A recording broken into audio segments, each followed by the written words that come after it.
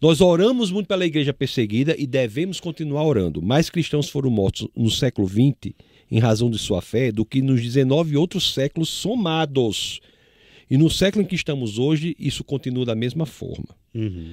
Mas também devemos orar, além de orarmos pela igreja perseguida, devemos orar pela igreja seduzida. A igreja seduzida é um horror, porque dá falsa expectativa de que a pessoa estar na igreja é suficiente para a salvação. O fato de você estar na igreja não faz de você cristão, assim como o fato de você estar numa garagem não faz de você um carro. Você é cristão ou não, dependendo do seu relacionamento pessoal com Jesus Cristo. Aí muitas vezes uma igreja bota uma pessoa dentro dela, dando a falsa expectativa que está tudo bem, na realidade ela está descendo a suave ladeira que levará para o inferno. O Falta da apóstolo, verdade. o apóstolo Paulo diz: tem situação que é melhor que o cara esteja no mundo do que numa igreja falsa. Por quê?